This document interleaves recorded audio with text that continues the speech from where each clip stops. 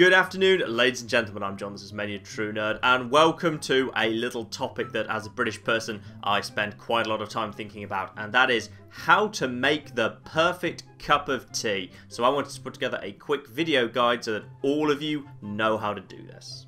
So here we are, this is the mug that I have chosen. Obviously, if you're doing this for more than one, then you'll probably want a teapot, but for just one, a teapot is a bit of a waste, so just use mug. The first thing to add in is the tea bag. If anyone tells you they put the milk in first, that person is wrong. They are wrong. Tea bag goes in first. I personally prefer PG Tips, that's my favourite bag. I believe that the pyramid bag is superior. It's probably not, it's probably a marketing gimmick. After that point, you want to add in the sugar. Obviously, you want the sugar to be in the hot water as long as possible. So you don't want to add in the sugar after you've added the water, because otherwise the sugar's got less time to dissolve and you want it to dissolve fully. Now the next step you're going to want to do is you're going to want to set up the pentagram. And the clue is in the title of this. You have no idea how many people get this wrong. Pentagram has five points. This is the Star of David.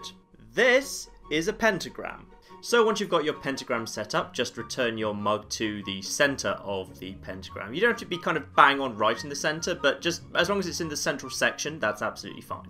Next, you're going to want to add in the water at this point from a freshly boiled kettle.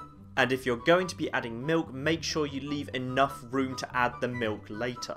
So obviously the tea now has to brew for a couple of minutes, so you've got a good opportunity here to conduct the goat sacrifice. It doesn't actually need to happen at this point, but now's as good a time as any, and you will generally have a bit of a pause here where you're waiting for the tea to brew. If you happen to have got any goat's blood actually inside the mug, don't be afraid to just quickly get that out. That is not an offence against his Dark Lordship. As long as you've got a good amount of blood from the freshly slaughtered goat actually on your pentagram, that's all you need to do. It does not need to actually be inside the rim of the mug, so do feel free to just wipe that away. Next, you're going to want to give the a quick stir just while you'll also begin the invocation to summon our Dark Lord Alhazred. Bear in mind, you must stir anti-clockwise. Anti-clockwise is what summons Alhazred to our plane. If you stir clockwise, you are pushing him further away from our plane. He doesn't like that. When he does eventually come, he will bathe in the blood of a thousand children for each clockwise stir. So anti-clockwise only. Feast of the Weka, feast for the deep temple. Alhazred, born again. And the very final step, you want to add in the milk. Generally, unless you've got a good reason to do otherwise, use semi-skimmed milk, that's the green top in the UK, or 2% if you are in America. And then you just keep pouring in the milk until you see the first cloud of milk appear up through the tea, as well as feeling the first wave of madness wash over you as our Dark Lord approaches. That's generally the point where you've got the right amount of milk in.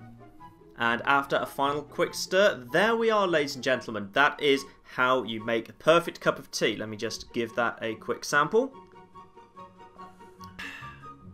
That's pretty good. That is actually a pretty good cup of tea. I'm very happy with how that turned out. And now, after that, you should be feeling refreshed and also safe in the knowledge that our Dark Lord Alhazred is among us once again. And there we are, ladies and gentlemen, as the dark shadow of evil once again spreads across the world, cloaking us in eternal night. I've been Jon, this has been Many a True Nerd, and this has been a quick how-to guide to how to make the perfect cup of tea. Thank you very much, and goodbye.